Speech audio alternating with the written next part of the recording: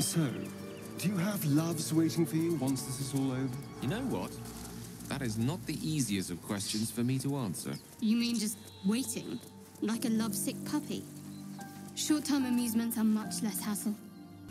You seem to know a good deal about our condition, Gale. Everything, really. Not to put too fine a point on it. A humble specimen, aren't you? On occasion. Still no symptoms. No sign of tentacles so far. The same.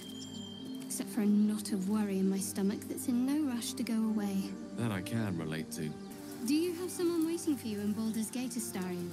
A sweetheart, perhaps? No sweethearts, no. I prefer them savory.